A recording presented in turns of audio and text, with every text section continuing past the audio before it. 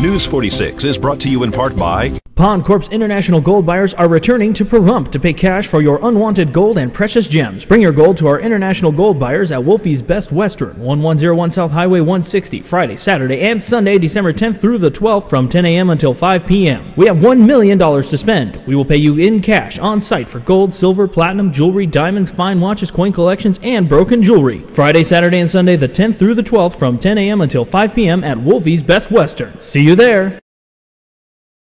Yes, it was very surprising. Um, Pahrump Fair and Festival through the Donkey Dunk, Duck, Duck, Dunky Dunk.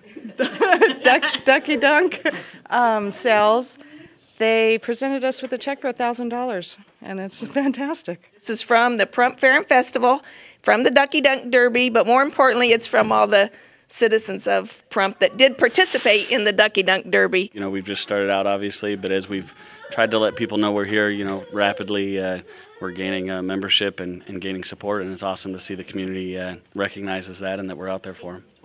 I know that you gave a little bit of um, uh, update on how PDOP started at the beginning. Yeah, it started with uh, our children. They were both diagnosed about the same time with a disability, and we couldn't find any services and resources out here, so we decided that we would be that for the community.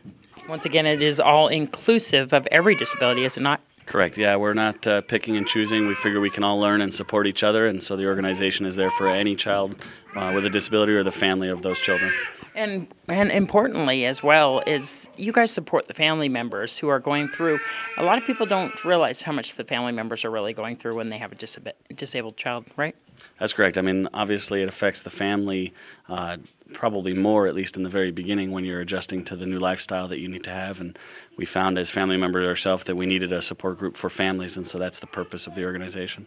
I know we're at your meeting here at the Hope Counseling Center on Homestead Road. We're going to let you get back to your meeting. But uh, really quickly, how can people find out more information about PDOP? I know you guys have a great website. Yes, it's www.pdop for pdop.info. And people can donate. They can, and uh, on the website there's a PayPal donation, or they can do it in person, like here at our meetings, or uh, by mail. All of that information's on the website. And what time are the meetings? The meetings are six o'clock, the last Tuesday of every month.